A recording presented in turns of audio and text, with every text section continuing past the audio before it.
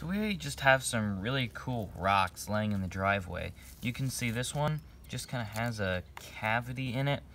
And I just found this one. This one's pretty cool. It was just laying here in the driveway, but I could see a crack going all the way through. And when I kicked it, it just kind of broke open. And it's hollow inside.